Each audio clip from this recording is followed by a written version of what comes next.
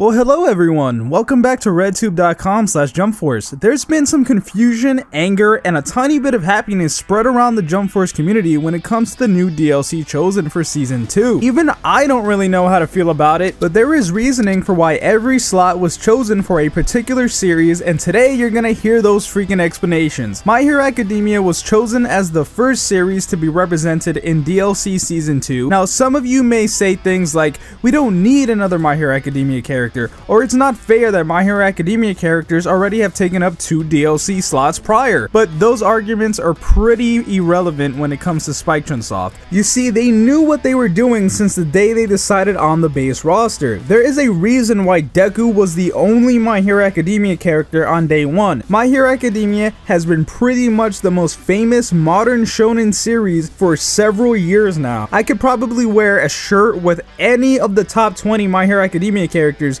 and someone in public would recognize the character. You can't really say that for most series. So being so popular and so recognizable, it is guaranteed that the series will make a profit, which is why they purposely chose to give one base roster character and let the next three characters be DLC because that means more money. And Todoroki's fan base is way too big to not include him over any other character. The next series is Hunter x Hunter. Yeah, I pronounce the X. It's my second favorite series of all time. I pronounce it how I want. I don't know why I have to always explain this to people, but just so new anime weebs don't get triggered, that's why I pronounce the X. But we actually don't know yet who the Hunter x Hunter character is going to be for DLC, and I plan on discussing that further some other time. But the reason why Hunter x Hunter is getting another character really all stems from fans being confused and annoyed. Hunter x Hunter was represented in DLC Season 1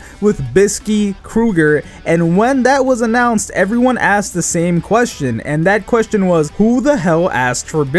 It just made no sense. There was at least five other characters that would have made more sense to add. I'm sure the developers realized this and decided to meet the demand for a more requested Hunter x Hunter character with DLC Season 2. Yu Yu Hakusho is next on the list, and I think this one is pretty obvious. When the base roster was completed, Yu Yu Hakusho was represented by two characters, Yusuke, the main character, and Toguro, a villain. But Toguro is not the second most popular Yu Yu Hakusho character. That would be Hiei, which has caused rage and complaints for over a year by Yu Yu Hakusho fans, and Hiei always ends up being at least the fifth most requested character for DLC ever since the game launched, so it only makes sense to add him for DLC Season 2. Although if they do decide to add a character who isn't Hiei instead, then that would just make no sense at all. Now we get to Bleach.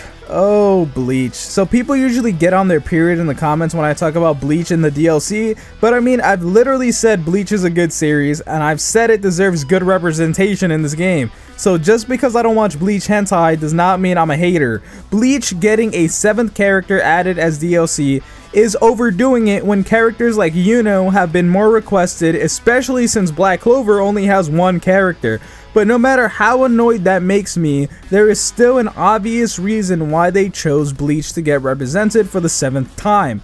Overall sales for the entire Bleach franchise have been significantly up over a year now, which has led to the announcement of the anime returning the developers have chosen to add another Bleach character in the heat of all the attention the series has gotten recently. And finally, we're left with JoJo's Bizarre Adventure. Do I even have to explain this? Out of every series in Jump Force, JoJo's Bizarre Adventure has been the most requested for more representation. And out of every character you could choose for DLC, it seems that Giorno Giovanna has pretty much always been number one. It only makes sense to give the fans what they want. I want to thank you guys for watching today's video. I would appreciate it if you left a like before you go. My name's Kanjic, and I'll talk to you in the next video.